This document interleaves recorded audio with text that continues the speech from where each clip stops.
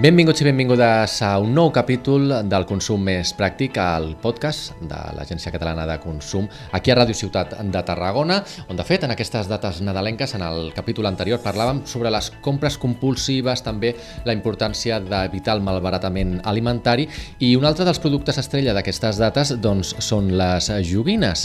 Les famílies, els nens, que hem de tindre en compte més enllà dels gustos i preferències per a aquestes compres, doncs en volem parlar amb Carme Torres, a cap de la secció de Tarragona de l'Agència Catalana de Consum. Benvinguda. Moltes gràcies. Quin seria, per tant, quin el primer consell que hauríem de tindre en compte, el primordial a l'hora doncs, de, de comprar joguines? Exacte. Doncs, sens dubte, el més més important a l'hora de comprar una joguina és la seguretat. Més enllà de, com tu dius, dels gustos, les preferències, del que vulgui comprar aquell nen o aquella nena, és important que comprem joguines que siguin segures.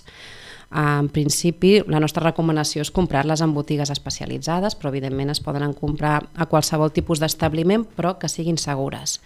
Mm, com podem saber, com ens podem assegurar que aquella joguina que volem comprar és segura pels infants?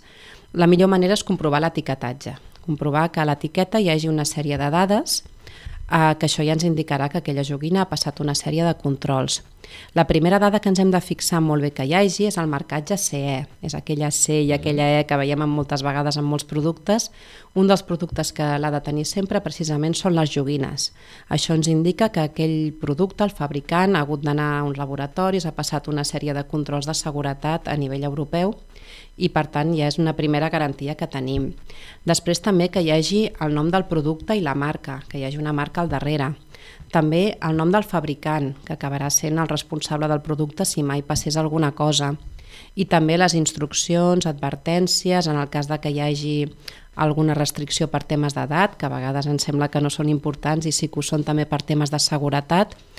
Si una joguina no té aquestes dades, mmm, rebutgem-la perquè aquí pot haver un problema de seguretat. Nosaltres, des de l'Agència Catalana del Consum, quan anem a fer inspeccions i trobem una joguina que no conté aquest mínim a l'etiquetatge, ho considerem una joguina insegura i allò s'ha de retirar del mercat doncs, com a pares o mares o que qualsevol persona que vulgui comprar un regal a un infant, eh, una joguina que no compleix aquests requisits, considerem que no és segura i no la comprem perquè hi pot haver algun risc pels nens. Uh mhm. -huh. Més enllà de, de l'etiquetatge, quins altres aspectes o requisits hem de tindre en compte per uh -huh. uh, saber si són o no segures aquestes joguines? Sí, exacte. Uh, pensem que les joguines dintre dels productes que podem trobar al mercat són dels que tenen uh, més restriccions, són els que tenen uns controls més estrictes, perquè clar, evidentment evidentment van dirigides a un públic infantil i per tant és molt important que siguin segures i és molt important que es facin aquests controls.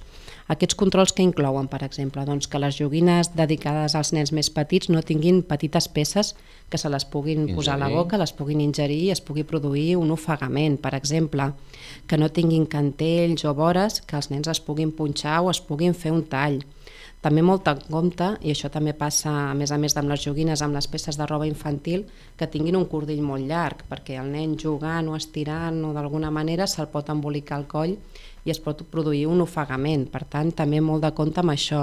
També els materials que s'utilitzen per les joguines infantils han de passar una sèrie de proves eh, que el temps de combustió ha de ser més llarg que els materials que s'utilitzen que d'altres tipus de productes. Per tant, han de ser materials que no es cremin amb facilitat, perquè si hi ha algun problema doncs no, no pateixi cap dany aquest nen.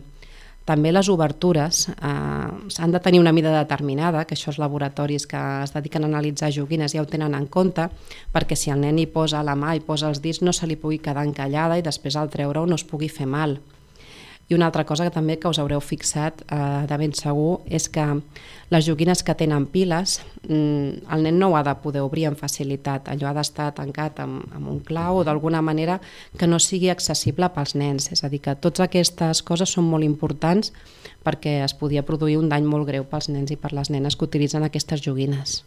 Més enllà de la seguretat, que és molt important i és el eh, factor és el, principal, el primer, com, hem, com hem assenyalat, hi ha altres aspectes que també vosaltres sempre recomaneu i sempre doncs, uh -huh. eh, incidiu, com són doncs, els productes que no siguin bèl·lics, que no siguin sexistes. Uh -huh. no?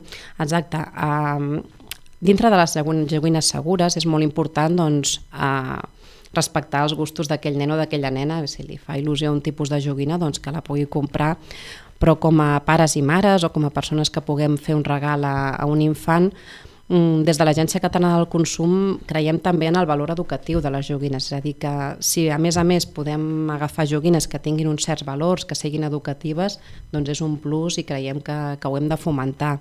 Mm, ja dic, dintre dels gustos d'aquell nen o d'aquella nena, doncs pensem que això s'ha de tenir en compte. També el tema medioambiental.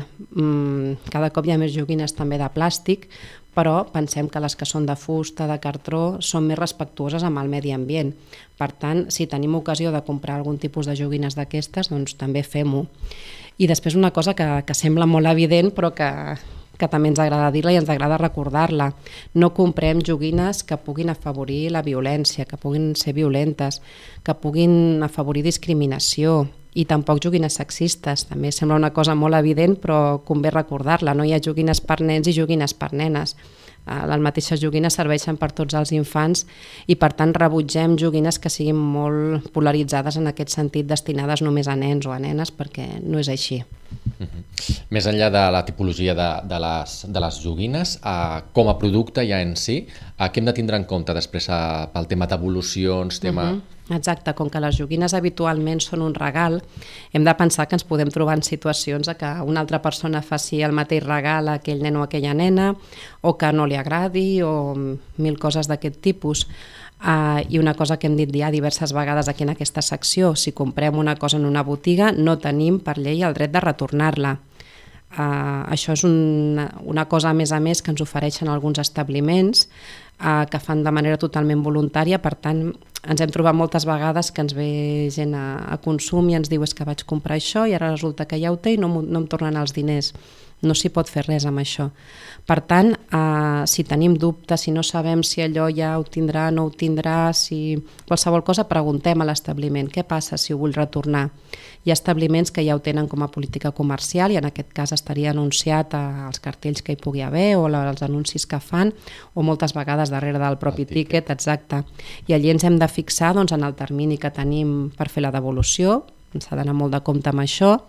També en si realment ens retornaran els diners que hem pagat o ens donaran un val, o si ens obligaran a canviar-ho per un producte de, la tenda en aquell mateix moment, o si aquell val tindrà una caducitat molt curta o molt llarga.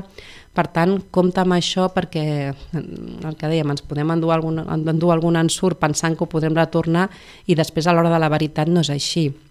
Si el producte el comprem per internet és una altra història.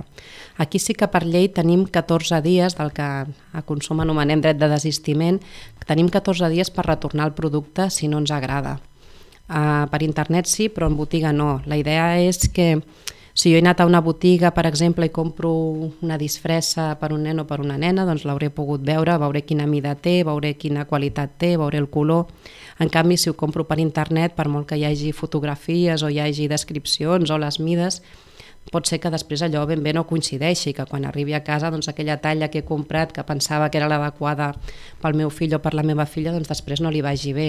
Per això hi ha aquests 14 dies, perquè quan realment tens el producte a casa i el veus, és quan veus si realment s'ajusta el que necessitaves. Tot i així, preguntem també i mirem quin tipus de producte, perquè mm, hi ha excepcions en aquest dret de desistiment.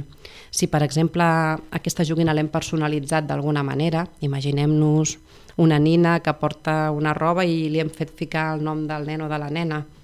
Uh, això ja no ho podem retornar perquè ens l'han personalitzat. O aquestes figures que es fan a vegades amb envies una fotografia de, de la persona o del nen o de la nena i te'n fan una figura que s'hi assembla, tampoc, perquè ens ho han personalitzat per nosaltres, això no, no es servirà. pot retornar. Per molt que ho haguem mm, comprat per internet no es pot retornar, estaríem parlant de, de productes estàndard que no han estat personalitzats. En cas de dubte, millor que preguntem, en tot cas. Sempre important doncs, a dedicar una mica de temps doncs, en aquests aspectes uh -huh. que avui hem repassat. Doncs, Carme, fins aquí el darrer espai de, de l'any. Uh -huh. Gràcies per aquests eh, consells. Gràcies Esperem que la gent doncs, hagi pres nota i que puguin fer doncs, compres eh, ben segures en aquestes dates i en tot cas doncs, si tenen algun dubte o volen més informació la trobaran com sempre a la vostra plana web a consum.gencat.cat també a les xarxes socials arroba consumcat. Carme Torres, cap de la secció de Tarragona de l'Agència Catalana del Consum, moltes gràcies. Gràcies a vosaltres. Bon any i fins la propera. Igualment. A vosaltres, els de casa, també gràcies per la vostra atenció en aquest nou capítol del Consum Més Pràctic, el podcast de l'Agència Catalana de Consum aquí a Ràdio Ciutat de Tarragona.